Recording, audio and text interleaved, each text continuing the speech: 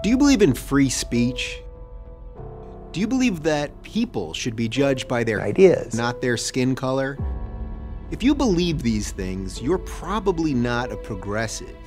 In a world of lies and biased media, one man wages battle in the war of ideas. I have a greater responsibility than you can possibly fathom. When I started waking up to what was going on related to free speech, when I started talking about it, everybody said, you got to talk to Sargon of Akkad. And I have to say that my brain is still in recovery mode from taking in so many high-level important ideas.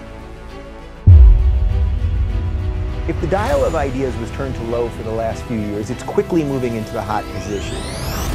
From outrage mobs and online censorship. And he didn't even use the N word as a racially pejorative term. To activists masquerading as journalists. Basically, uh, Quillette has done about four hit pieces on you. They're not journalists, they're hitmen.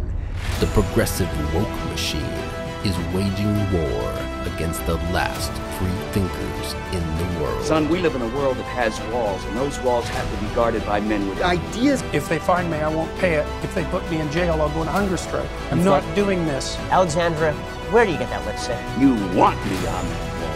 You need me on that wall. Pizzagate is real. Well, they have children. What do you expect? You know? Right. Um, this is what Mr. Gay Vox wants to do. Mr. Let's Be Queer from Vox. Personally, I find racism funny.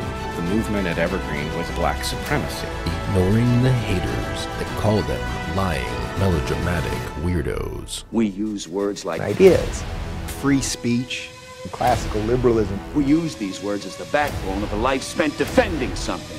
You use them as a punchline. You can't handle the ideas.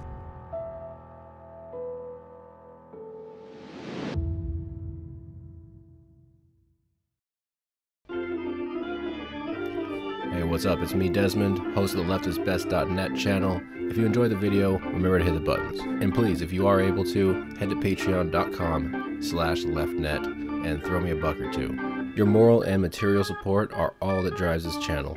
Patrons get access to an ultra-wide HD version of this video without the channel nag tags. Also special thanks to the Leftist Commentary channel for help with the critique and clips. Go check them out with the link below and also right here.